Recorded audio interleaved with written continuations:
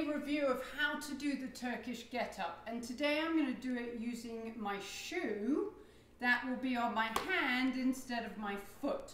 And the reason that I'm using a shoe is because when we actually do a proper Turkish get up, we would be using a kettlebell or a dumbbell. But for teaching purposes, I'm using a shoe because it keeps my hand in the correct position. And if I start uh, unlocking my wrist, the shoe's obviously going to fall on my body. So today, we are going I'm going to show you the Turkish get up on the right side. The shoe is on in my left hand, just like a, a waiter's tray. And I'm going to start with my left leg bent. So always remember, if you're doing it with a, on your left side, your left leg and your left arm are both in the up position.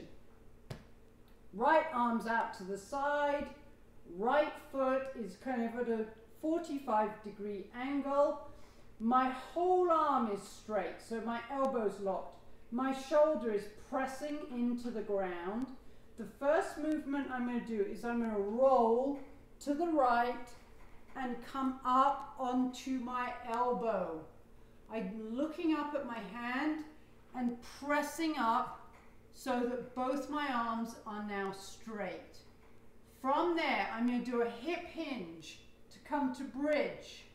And then I'm going to bring my knee back underneath me.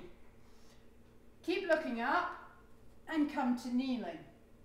Windshield wipe this knee or the foot so that your feet are now in one, going in one direction, one forward, one backwards.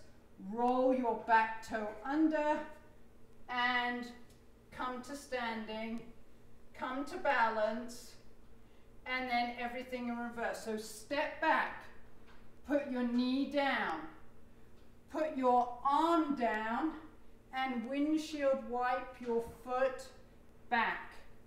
From there, press and come into that bridge and then sit back down and roll down to the ground. So one more time. You're going to roll to the right, push up and into a straight arm position. Hinge your hips up and come into a half kneeling position and then windshield wipe your foot back.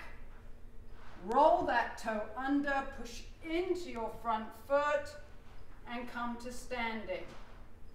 And then drop back.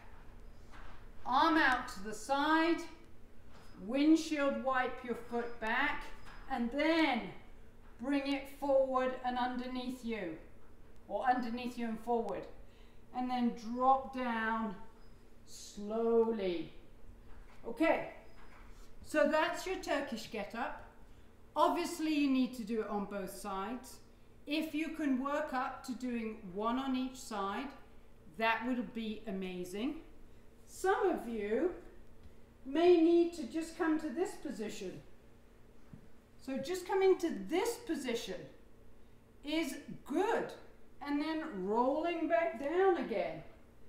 And coming to your bridge position and rolling back down again so that you're working on a long spine and a hip hinge. And then when you feel comfortable, you can go to that next level of coming into your kneeling position. And at that point, you may need to drop your shoe and come into a standing position but please break it down so that it works for you and that way you will have success doing it. But the Turkish get up, like I said, heaven forbid we fall, but the good thing is you have the strength, you have the mobility. This is a great neurological exercise for us to do because it really stimulates our brain into thinking, okay, what's coming next? So practice if something hurts, stop. but break it down for yourself so that you succeed in the little bit of the Turkish get up that you're trying to accomplish for yourself. Anyway, that was fun. I've only done about 20 of these videos, so I'm absolutely exhausted. Um, but hopefully that's given you some tips to do the perfect Turkish